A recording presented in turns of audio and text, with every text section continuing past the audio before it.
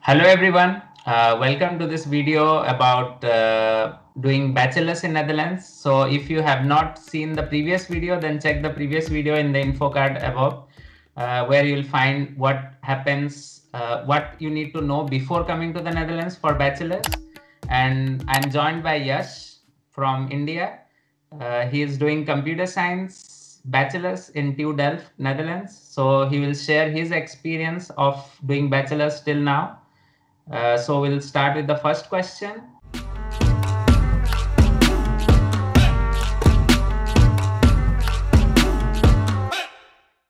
So I'm gonna start with the the study load. Uh, yeah. And thing about that is that it feels uh, a bit different for everybody. So, for example, if you have lots of programming experience, uh, it's not too hard. But if you're a beginner, then it is a lot of work uh, but it greatly depends on the individual. So study ahead if you can. Uh, you really have to work for every credit. Uh, they will never just give them to you easily. Uh, and all subjects have exams uh, plus something extra like mandatory assignments or a project. So every subject needs hard work.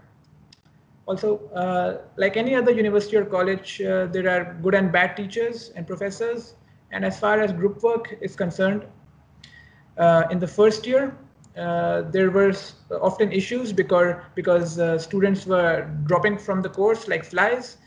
Uh, for example, uh, we started off with nearly a batch of 1,000 students, but at the end of the first year, only around uh, 500 remained. But group work became a lot better during the second quarter. also, uh, regarding the grading of exams, it's done differently depending on the subjects. Usually you need at least a 5 out of a 10 in both finals and at least a 6 uh, to pass the course. So the course is pretty packed. Uh, yeah, that's uh, pretty much what I have to say about that. Okay. And regarding the ECTS, like the European credits, you need to do 60 per year, right? Yeah, so for the first year, um, you have to have at least 45 or more credits if you want to transition to the second year. So without uh, at least 45, uh, they'll just basically kick you out.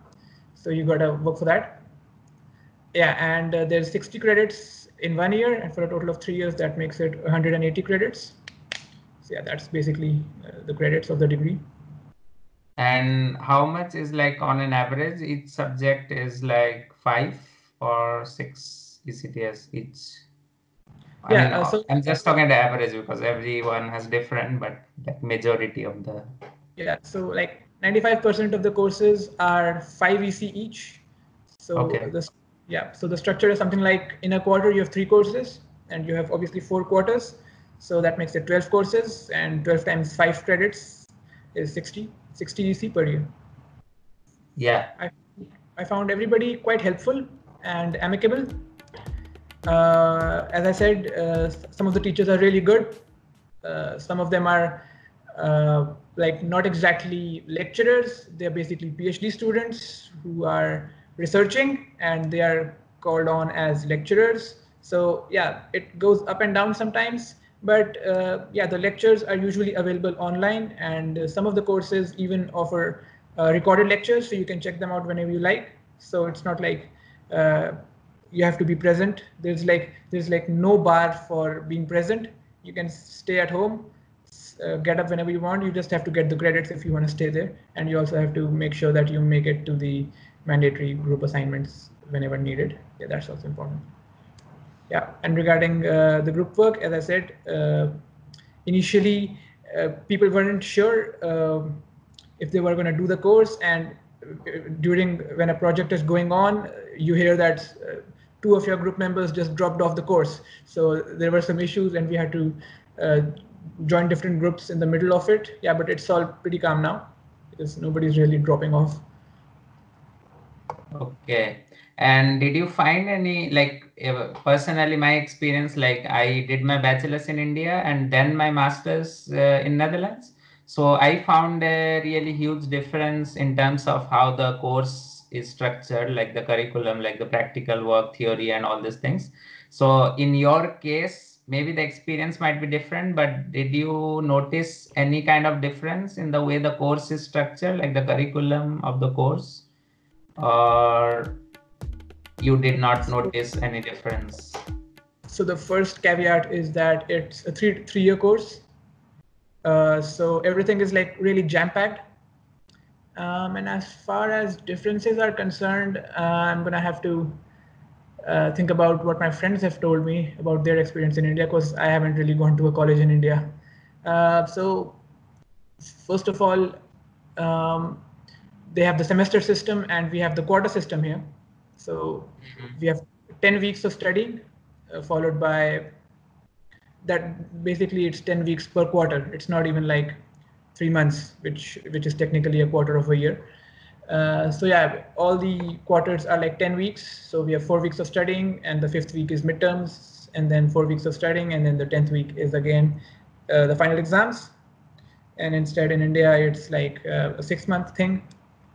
So yeah, that's the, I think that's the biggest difference uh, that should be noted. But in terms of the structure, uh, it's not really the biggest thing to discuss really. Yeah, so in our uh, faculty of computer science, uh, the biggest one I think is uh, Christiaan Huygens, uh, mm-hmm. after like the Huygens guy who invented the Huygens principle and all that stuff. So mm-hmm. yeah, that's the that's I think the biggest one, uh, and it's uh, not really costly. It costs like 25 euros or something. And you also, get free coffee. There's like a sorry. you get free coffee. Oh yeah, yeah, yeah. I forgot to mention. Yeah, you get free coffee. Yeah, but you must bring along your own mug for whatever reason. All right. Uh, so yeah, there's also a lot more of them, uh, but I'm not aware of each and every one. I'm just a member of like Christiaan Huygens. Yeah. So. I think that's the popular one, which uh, which I also remember in my masters. Yeah, yeah, it's I think the most popular one. Yeah, in our faculty at least. Uh, regarding the part-time stuff, uh, as I mentioned in the previous video, you can uh, do Uber delivery, which has which is pretty good for a student with a changeable uh, timetable. You can work your own hours and they'll pay you accordingly. Also, you could become a teaching assistant in year two, uh, provided that you have all the 60 credits from year one. Um, yeah, but you have to be uh, good at uh, whatever course, and you have some interviews with the, the teaching team, and then they pick you and the hourly wage for that uh, is something like 15 euros, maybe a bit less than that. Yeah, but it's something like that. And but uh, the thing with that is uh, that you have to work a certain number of hours per week. So it really depends on the person which they would pick, because teaching assistant has kind of a bit more uh, academic feel to it. So other rather than Uber delivery, uh, and it might be nice uh, to have on a on a curriculum vitae. Yeah, so uh, the overall atmosphere is pretty relaxed, uh, but the number of students that uh, an Indian would find in their current year, at least in EEMCS or EV or uh, the computer science department as we call it, it's pretty small, like about a dozen on average. Uh, and like there are people all over the world studying there, like from Africa, China, different countries of Europe. Like I've got a friend from Luxembourg who's Indian I've also got uh, people from Romania, and there are also some Americans. Yeah, so it's a pretty multicultural thing. So you wouldn't notice you won't notice that difference from India really. Okay. Okay, I'll start with a good one. So the one thing I like uh, about the course is that it's got a lot of practical stuff in it. So each and every course, as I mentioned uh, in the previous video, it's got exams, plus it's got some project work or some mandatory assignments which you need to pass. It's not just writing reports all the time or filling out, uh, you know, uh, an assignment or something that's just thrown in the garbage after that. We really learn from um, the assignments. It's really ingrained together, the, the, the course material and the assignments. So you really learn something material yeah so that's one thing i feel like it's not money wasted also uh, one thing that i don't necessarily like hmm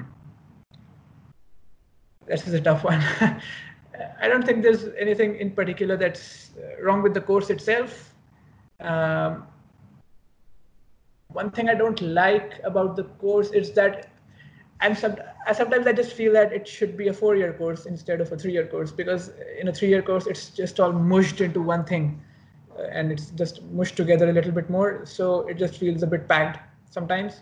It's a bit stressful sometimes because there's very little room to relax in a quarter system. Mm-hmm. Uh, you always have to be on your toes, kind of, because there's always an, an assignment due next week or something like that.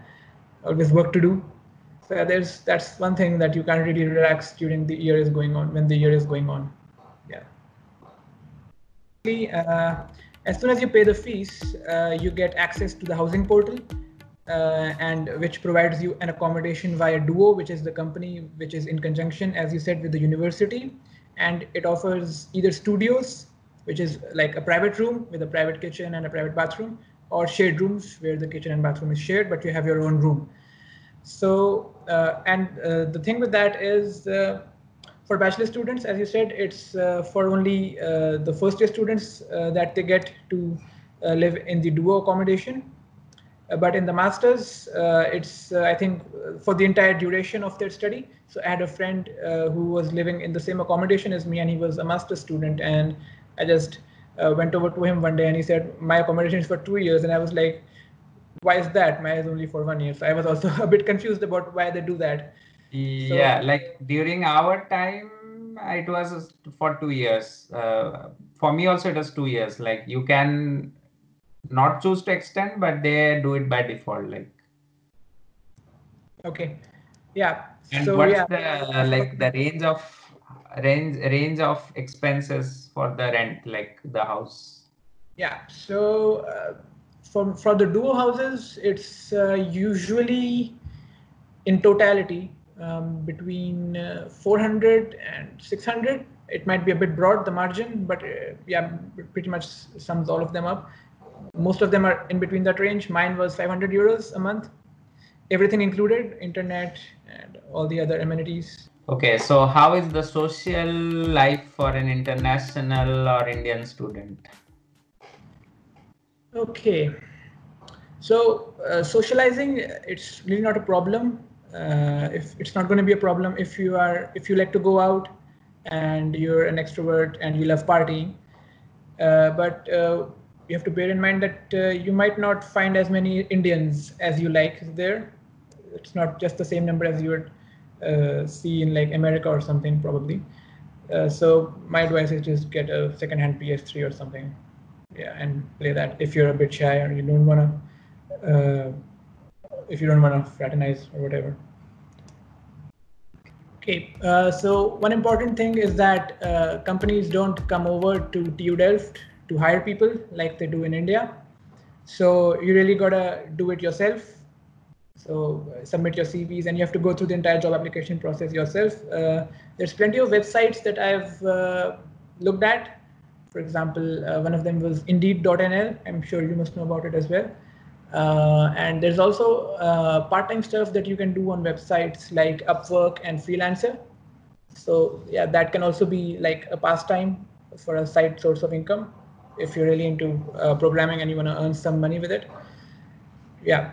So yeah, I think there's uh, plenty of jobs in the Netherlands. Uh, of course, I'm still like learning about it because I haven't really gotten one, so I don't know the inside information. I just see what's on the internet. So it's best if uh, people Google that themselves, they'll find a lot of stuff. Yeah, so I'm just gonna uh, reiterate what I said in the last video. It's really important okay. to get. It's really important to get all your credits. Um, like try to get 60 if you can. That's the perfect number. Then you can start uh, TAing and earn some money, and it's also good for your portfolio. Uh, don't uh, get too much addicted to freedom because that kind of happened to me a little bit for like the, the, duration of quarter one a little bit and i just realized that uh, i was just getting addicted and uh, like to netflix um, and it's really important to just hold it and bear some pain and finish your courses on time and from second year I, I wouldn't say that the studies become easier but you get into that flow and uh, then it's a bit easier to relax so yeah second year is the time to really start like exploring europe if you haven't done that before. Yeah, just hold it for year one. That's the important one. After that, you can just do whatever you like. okay. Yeah. Responsible with your time. Yeah. That's okay. I think the most good advice. Like uh, first get used to the new situation and then start uh, exploring other new things or doing something else. So yeah, thank you very much for giving your time on a Sunday for this uh, interview for everyone, so that people Okay. can also yeah know more about doing bachelor's in Netherlands. And uh, if you like this video, then don't forget to smash the like button, share this video, help each other out, and don't forget to subscribe to the channel if you have not done it yet. So I will see you in upcoming interviews and other videos. Till then, peace from Netherlands.